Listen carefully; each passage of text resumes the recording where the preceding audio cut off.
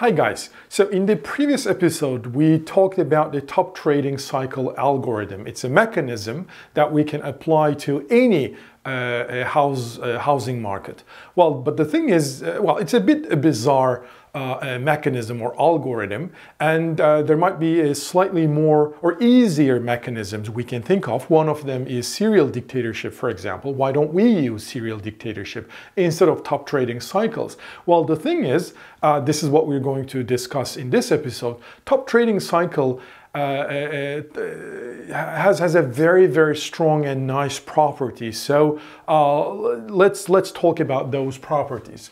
Well, for any housing markets, I have four theorems. Well, the first thing first, there always exists a core matching in in a housing market. Well, remember, uh, for many cooperative games, core can be empty. There may be no core uh, solution.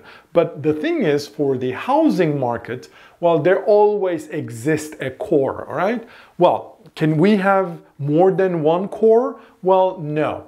Actually, it is unique, all right? So for any housing market, uh, problem, the core is going to include one and only one allocation, and this allocation will be captured by the TTC algorithm, the top trading cycle algorithm. So in that sense, it's a very, very useful uh, mechanism. So the next theorem says the matching produced by the top trading cycle algorithm or mechanism is the unique core matching. I hope you did not, I mean, you, you, you catch uh, that the fact that I'm using algorithm and mechanism interchangeably, interchangeably, and yes, I, I, whenever I say algorithm, I actually mean mechanism. So the next theorem says the TTC, the top trading cycle algorithm or the mechanism, is in fact strategy proof. So if you ask the agents, how do you rank the houses? They actually have no incentive to lie. Okay, so that's, that's perfect.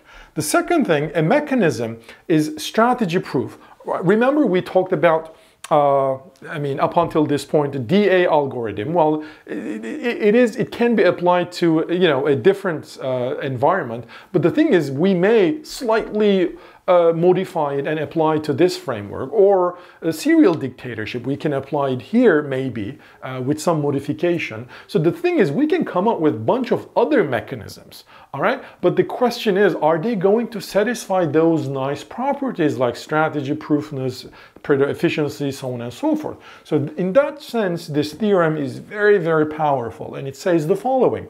Think of any mechanism for housing market. Well, if you want this mechanism to be strategy proof, Pareto efficient, and at the same time individually rational, well, then you know what? There's only one such mechanism which will satisfy all those three properties in the housing market. Well, it is the TTC, the top trading cycle. So you don't really need to look at any other mechanisms. Use the TTC if your problem is housing market problem. It will always give you strategy proof. Uh, uh, well, I mean, it is strategy proof. It will always give you uh, efficient, Pareto efficient matching, and it will always give you individually rational uh, matching. Okay?